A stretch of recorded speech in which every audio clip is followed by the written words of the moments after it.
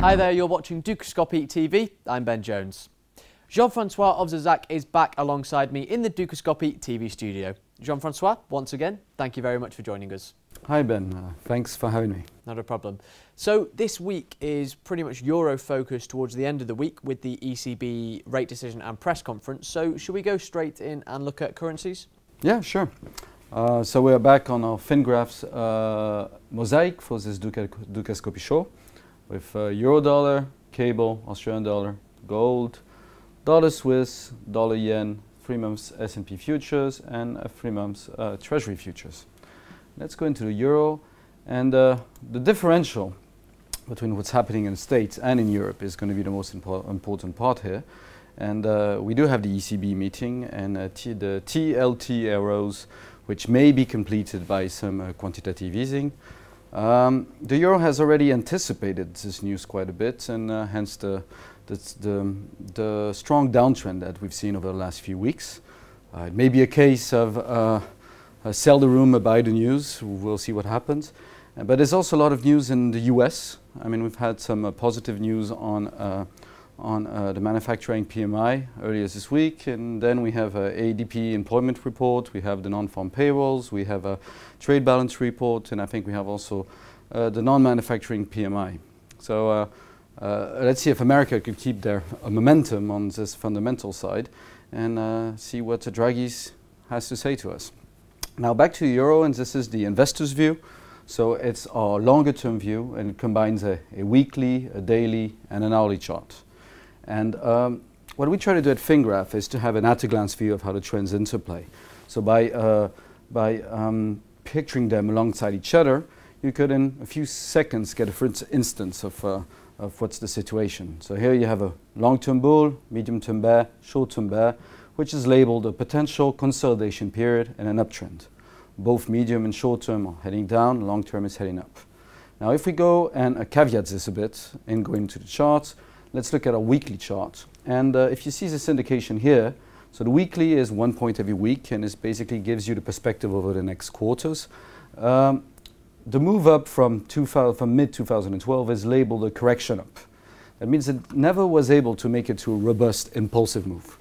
In order to do so, it would, it would have had to move above its corrective targets, which are close to about 130, or here 139.93. So uh, this move up only corrective, which uh, had been in, ex in existence since mid-2012, reached its targets and seems now to be rolling over. Now, in this perspective, let's have a look at the daily, which is uh, the medium-term chart. So if we go on to the daily, we see that uh, the downtrend is, uh, is in place and uh, started um, earlier this year. Uh, it had turned impulsive around um, the 135 mark here towards um, uh, the month of July. And now it's showing impulsive targets, which can lead us down to 132 to uh, the high 129s. Um, there's still a few more months to go, so I mean, this move doesn't seem finished. And uh, we may see these uh, targets revised down a bit as volatility accelerates. Uh, the targets are calculated on historical volatility. Now, if we look here, we do have a bit of exaggeration at the moment. Uh, the short-term envelope is hitting against the longer-term envelope, which is a sign of uh, support, or if you're into the upside of resistance. And uh, the oscillator, the risk oscillator, is in the oversold. Now, to really confirm a turning point, you would need to see the smaller envelope start turning up, and this oscillator also moving higher and ideally making it out of the oversold zone. So we can't really call an intermediate bottom yet, but we're in a zone where it does seem that short term it is a bit exhausted.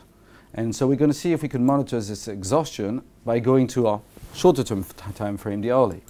So now up to the hourly, and you see the targets are labeled here impulsive 2, I2. That's, uh, the, that's the most aggressive targets that we calculate. They are meant for very strong uh, extended moves. Uh, when I was here about 10 days ago, we thought we'd have one last move which would go to go test the bottoms. Seems to be pretty much done. Uh, we still would have theoretically a bit more to go uh, in terms of uh, what we measure with our, our, volatility and our targets, but it does seem quite um, overextended here too. So I, I would say the risk reward has widely deteriorated over the short term, and that uh, at some point over the next week or so, we may see this bounce uh, happen, maybe already happening.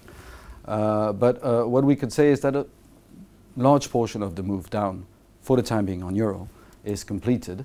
And uh, however, in the context of a longer term move, which will bring us lower over the next few months, so only an intermediate uh, potential reaction. Now, interesting event last week on sterling. Um, sterling still seemed to uh, be heading down over the short term, but it was a lot of exaggeration. And I'm, I'm, I'm, starting here just to point out that we're well into the impulsive two targets, and we could probably monitor the same type of exhaustion over the short term that we have on the euro. Now, another event happened last week on the medium term, which is the daily, which had been heading down and was hitting against its corrective targets. It went through these corrective targets uh, over the last 10 days, initiated an impulsive move, and with targets which are now showing um, uh, a zone between 158 and 161. So that means that uh, the move, which up to now had only been a corrective move, has proven it's robust enough to make it uh, further over the next few months and further in terms of price potential. And usually we have about 70% uh, uh, to three quarters of, of, of, of, price moves that go co from corrective to impulsive that actually reach those uh, impulsive targets. So it is a strong indication that uh, the weakness of sterling is probably uh, there to last over the next few months. That said, again, the short term here is a bit overextended, so we could see a reaction over the next week or so.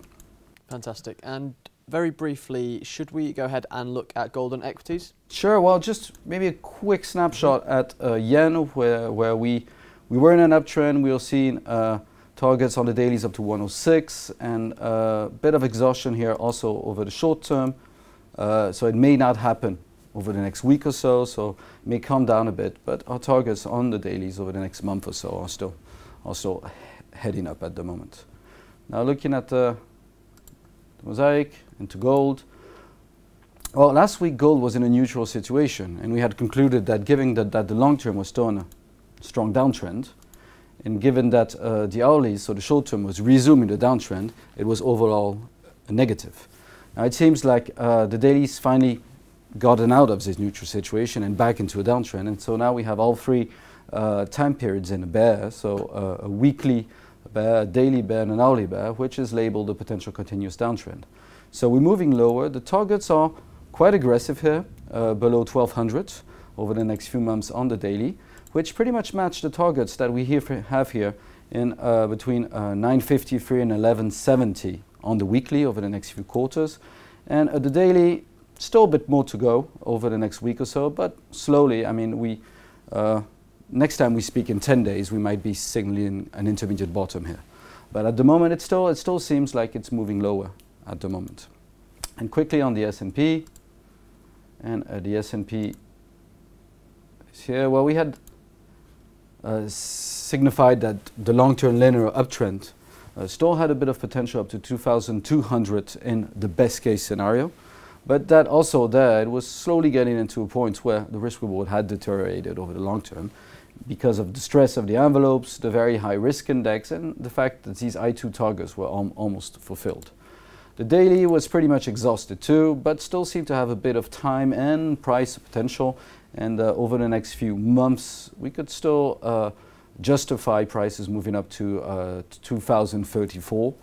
Uh, and finally, similarly, the daily is not quite finished yet, and we have targets around 12, uh, uh, 2020 or 22.